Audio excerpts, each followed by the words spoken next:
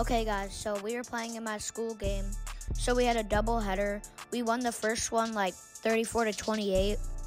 And then we played our second game and we won that, uh, let's see, like 30, 36 to 17.